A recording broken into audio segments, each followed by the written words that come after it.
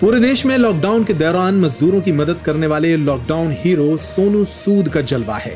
सोनू सूद विगत रोज जब भोपाल पहुँचे तो उन्हें देखने और सुनने के लिए सैकड़ों लोग यहाँ पहुँचे। दरअसल सोनू सूद भोपाल में आयोजित एक निजी कार्यक्रम में शामिल होने आए थे। इस दौरान वे भारतीय जनता पार्टी के प्रदेश अध्यक्ष बी डी शर्मा से भी मिले। उन्होंने इस मौके पर पुलिस कर्मियों के साथ लोगों से ट्रैफ़िक नियमों का पालन करने की अपील भी की। उल्लेखनीय है कि 17 फरवरी तक सड़क सुरक्षा माह मनाया जा रहा है। ऐसे में सोनू सूद ने लोगों से हेलमेट पहनने, सीट बेल्ट लगाने की अपील की। तो रूल्स को फॉलो कीजिए आपकी सेफ्टी के लिए, अपने परिवार वालों की सेफ्टी के लिए, दूसरों की सेफ्टी के लिए। और और हेलमेट और सीट बेल्ट पक्का लगाए यार प्लीज़ वो बड़ा इंपॉर्टेंट है। अक्सर मैं भी वैसे उन्हीं में से था, जब कॉलेज में पढ़ता था, हेलमेट रखा होता था, लेकिन अपने हाथ पर टांगा होता था।